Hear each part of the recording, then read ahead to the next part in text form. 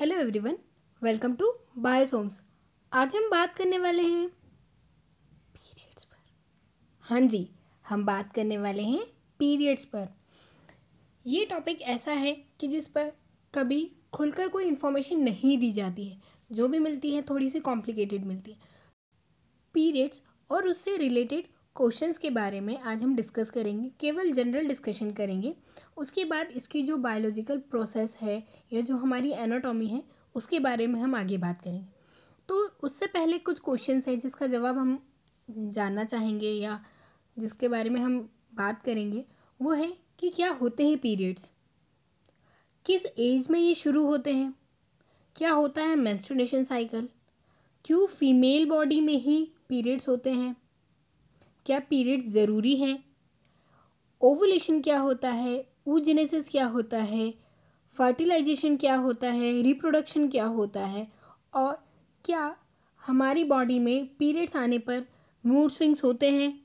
तो क्यों होते हैं? क्रैम्प्स क्यों आते हैं? और साथ ही कभी कभी जो पीरियड्स का ब्लीडिंग होती है, उसमें से स्मेल क्यों आता है? आज हम इन सारे पॉइंट्स पर नॉर्मल और जनरल डिस्कशन करेंगे। पीरियड्स की बात करने से पहले हम फीमेल रिप्रोडक्टिव ऑर्गन्स के बारे में जान लेते हैं ताकि हमें पीरियड समझने में आसानी हो। फीमेल के जो रिप्रोडक्टिव ऑर्गन होते हैं, उसमें एक पेयर में यानी कि दो ओवरीज पाई जाती हैं, जो कि एक फिंगर लाइक प्रोजेक्शन यानी कि फेलोपियन ट्यूब के द्वारा यूट्रस से जुड़ी होती हैं। यूट्रस से सर्विक्स जुड़ा होता है और सर्विक्स से ही वेजाइना जुड़ा होता है, जो कि फीमेल का मेन रिप्रोडक्टिव ऑर्गन होता है, जिसका एक्सटर्नली पार्ट दिखाई देता है। अब हम बात करते हैं पीरियड्स की। पीरियड्स मैमल की हर एक फीमेल में होने वाली एक बायोलॉजिकल प्रोसेस है, जो कि एनिमल और ह्यूमन बॉडी दोनों में पाई जाती है। एनिमल और ह्यूमन में होने वाले पीरियड्स कुछ डिफरेंट होते हैं। नॉर्मल शब्दों में कहा जाए तो पीरियड्स फीमेल बॉडी में होने वाली एक बायोलॉजिकल प्रोसेस है, जिसमें उसके जेनिटल ऑर्गन से ब्लीडिंग होती है।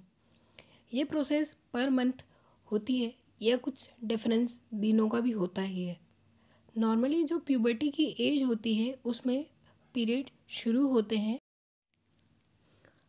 नॉर्मली ये प्रोसेस ह्यूमन में थर्टीन टू फिफ्टीन की एज में स्टार्ट हो जाती है और फोर्टी फाइव टू फिफ्टी की एज तक चलती है। एनिमल्स में ये टाइम उनके एडल्ट एज होने पर डिपेंड करता है।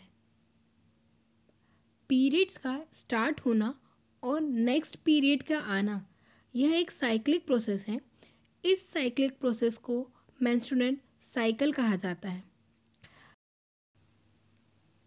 फीमेल बॉडी में ओवम का, यानी एग का फॉर्मेशन होता है, जिसके मेच्योर होने के बाद ही पीरियड्स का आना शुरू होता है। वैसे तो बेबी गर्ल के बर्थ के टाइम यह कहा जाए कि मदर वॉम में ही जब फीमेल का जेंडर डिसाइड हो जाता है, उसी टाइम फीमेल के रिप्रोडक्टिव ऑर्गन्स और साथ में उनके सेक्स हार्मोन्स दोनों ही फॉर्म होना शुरू हो जाते हैं। जब प्यूबर्टी की एज में फीमेल आती है, तब इन हार्मोन्स का सिक्रेशन शुरू होता है, जिससे रिप्रोडक्टिव ऑर्गन्स का डेवलपमेंट भी शुरू होता है। फीमेल में एस्ट्रोजन और प्रोजेस्ट्रॉन नाम के दो हार्मोन्स का सिक्रेशन होता है, जिन्हें हम सेक्स हार्मोन भी कहते हैं। ये हार्मोन फीमेल को सेक्सुअली एक्टिव करती है यह कहा जाए यह इसे रिप्रोडक्टिव बनाती है। इन हार्मोन का सिक्रीशन ही सेकेंडरी कैरेक्टर्स को लाता है। सेकेंडरी कैरेक्टर्स जिनमें फीमेल में पीरियड्स का आना ब्रेस्ट का साइज़ इंक्रीज होना प्यूबिक हेयर्स का ग्रो होना, साथ ही अपोजिट जेंडर की ओर अट्रैक्शन होना, ये सारे सेकेंडरी कैरेक्टर्स में आते हैं। ओवरी में ओवम का फॉर्मेशन होता है और ये ओवम फेलोपियन ट्यूब की हेल्प से यूट्रस में आता है, क्योंकि फीमेल का ओवम मोटाइल नहीं होता। इसलिए फेलोपियन ट्यूब उसे हेल्प करती है यूट्रस तक ले जाने में। जब ओवम को कोई स्पम नहीं मिलता, यानी कि वह फर्टिलाइज नहीं होता, तब यह मैच्योर ओवम अपने आप को रप्चर कर लेता है। साथ ही उसके आसपास की जो सेल्स होती हैं या उसके टिश्यूज़ होते हैं, वो भी रप्चर हो जाते हैं। ओवम के साथ साथ उसमें पोलर बॉडीज़ प्रेजेंट होती हैं और ये पोलर बॉडीज़ जब रप्चर होकर बॉडी से बाहर निकलती है, उसे ही हम वाइट डिस्चार्ज कहते हैं। ओवम ह्यूमन बॉडी की सबसे बड़ी सेल होती है। इसमें न्यूक्लियस साइटोप्लाज्म और अदर सेल ऑर्गेनल्स भी पाए जाते हैं। ये ओवम धीरे धीरे वेजाइना के थ्रू ब्लड के फॉर्म में बॉडी से बाहर निकलता है। यह पूरा ड्यूरेशन तीन से पाँच दिन का हो सकता है और मैंस्ट्रुएशन साइकिल जो होता है, वो लगभग ट्वेंटी एट डेज़ का होता है। पर कभी कभी ये ट्वेंटी फोर से फोर्टी फाइव डेज़ तक वेरी कर सकता है और ये सारी चीज़ नॉर्मल होती है। पीरियड बेनिफिशियल होते हैं क्योंकि ये हमारी बॉडी में बनने वाले एक्स्ट्रा टिश्यूज़ को पीरियड्स के दौरान हमारी बॉडी से बाहर कर देते हैं। साथ ही ये हमें हार्ट की डिसीज़ से भी बचाता है और हमारी बॉडी हर मंथ बेबी को प्रिपेयर करने के लिए कुछ टिश्यूज़ का फॉर्मेशन करता है, जिसे भी ये पूरी तरह से रिमूव कर देता है, जिससे कैंसर जैसी डिसऑर्डर से भी बचाया जा सकता है।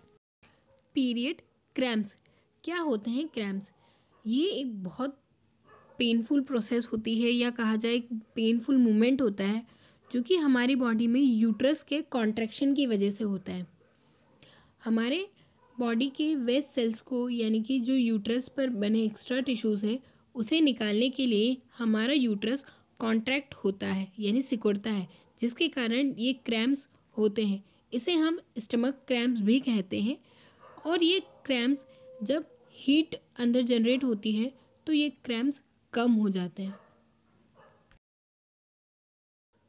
वॉमिटिंग, लूज मोशन या मूड स्विंग्स, इन्हें हम पीएमएस भी कहते हैं, यानी कि प्री मैंस्ट्रुअल सिंड्रोम। ये पीरियड्स के दौरान या पीरियड आने से पहले होने वाली प्रोसेस है, क्योंकि पीरियड्स के दौरान हमारी बॉडी में हार्मोन्स का सिक्रीशन ज़्यादा होता है, जिसके कारण बॉडी में इंटरनली हीट जनरेट होती है और उसी के कारण वॉमिटिंग का होना और लूज मोशन का होना कॉमन होता है। साथ में हमारी बॉडी में ओवरी, ओवम का फॉर्मेशन भी शुरू कर देती है, जिसके कारण हमारी बॉडी में इंटरनली हार्मोन का सिक्रेशन बढ़ जाता है। जिसके कारण हमारे मूड स्विंग्स होते हैं। उस टाइम हमें खुद पता नहीं होता कि हमारे मूड स्विंग्स क्यों हो रहे हैं। कभी इरिटेशन होता है, कभी एंगर होता है, कभी लॉस ऑफ़ एपेटाइट होता है, यानी भूख नहीं लगती। ये सारे जो सिम्टम्स होते हैं, वो मूड स्विंग्स के सिम्टम्स होते हैं।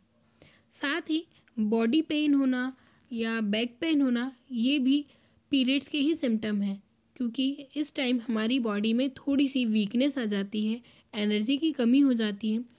जिसके कारण हमारी बॉडी में पेन होना शुरू हो जाता है। पीरियड से रिलेटेड एक महत्वपूर्ण बात, हर एक फीमेल में पीरियड्स की प्रोसेस अलग अलग होती है। सबकी प्रोसेस सेम नहीं होती। ज़रूरी नहीं है कि हर एक के पीरियड सेम ही हो। और इवन एक ही गर्ल में पीरियड्स अलग अलग हो सकते हैं। ज़रूरी नहीं कि इस मंथ यदि आपको क्रैम्प्स नहीं हुए हों तो नेक्स्ट मंथ ना हो। या बॉडी पेन हुआ हो तो नेक्स्ट मंथ ना हो। ये चेंज होता रहता है। ये सारी चीज़ें डिपेंड करती है हमारी बॉडी की एक्टिविटी पर, हमारी डाइट पर और हमारे आसपास के इन्वायरमेंट पर भी। यदि हम स्ट्रेस में होते हैं तो पीरियड्स डिले भी हो सकते हैं। यदि हमारी डाइट प्रॉपर ना हुई तो भी हमारे पीरियड्स डिले हो सकते हैं। पीरियड स्मेल पीरियड के दौरान ब्लड में सेल्स के साथ साथ कुछ टिश्यूज़ भी होते हैं और कुछ बैक्टीरिया भी मिक्स होकर आते हैं, जिनकी नॉर्मल कुछ ऑर्डर होती हैं, जिसके कारण पीरियड ब्लड में स्मेल होती है। साथ ही, यदि हमने डाइट में कोई ऐसी चीज़ ली है, जिसकी स्ट्रॉन्ग स्मेल होती है, तब भी हमारे पीरियड ब्लड में स्मेल आती है। बट ये इतना ज़्यादा स्ट्रॉन्ग नहीं होता है। हीट और टेम्परेचर भी पीरियड्स पर इफ़ेक्ट करते हैं, क्योंकि इनका हीट का डायरेक्ट कनेक्शन होता है हारमोन से। हीट हार्मोन्स को जल्दी एक्टिव कर देते हैं। इसीलिए गर्म चीज़ खाने पर या कुछ ठंडा खाने पर हमारे पीरियड्स पर इफ़ेक्ट होता है।